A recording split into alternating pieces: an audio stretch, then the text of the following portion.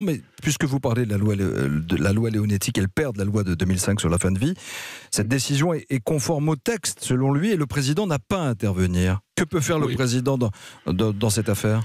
Mais oui, mais M. Leonetti n'a pas vu le rapport euh, d'expertise euh, de novembre 2018. M. Leonetti ne connaît pas le cas particulier de ce pauvre garçon.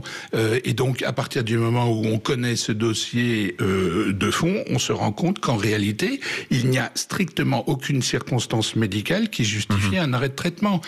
C'est la raison pour laquelle nous nous sommes adressés au CIDPH, à ce comité de l'ONU, pour que celui-ci puisse nous dire, avec un regard extérieur à la France, ce qu'il en est, et si la France a une attitude discriminatoire pour les personnes handicapées, ou si au contraire euh, le, le, droit tel que l'a interprété euh, le Conseil d'État est conforme aux dispositions de la Convention. Mmh. Mais ça, c'est un travail de relecture euh, extra-nationale qui est indispensable dans une affaire aussi importante. Et comme il n'y a pas d'urgence, eh ben, impliquons les mesures provisoires. Maître Jean Payot, Jean-Luc Romero, qui est le président de l'Association pour le droit de mourir dans la dignité, disait hier matin sur l'antenne d'Europe 1 que la loi devait changer pour éviter de nouveaux drames familiaux tels que celui-ci et faire un peu comme en Belgique quand il n'y a pas de consigne écrite du patient avant l'accident par exemple.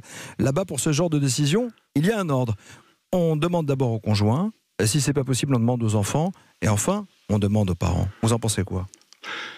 Euh, J'en pense que l'euthanasie n'est certainement pas une bonne solution euh, pour résoudre des cas de ce type. Mhm. La France euh, a choisi la ligne médiane pour éviter autant l'euthanasie que l'obstination déraisonnable et a choisi de mettre le paquet sur les soins palliatifs. Mhm. Et c'est très bien. Sauf que ici, la problématique majeure, c'est que Vincent Lambert n'est pas euh, pris en soin dans un établissement spécialisé.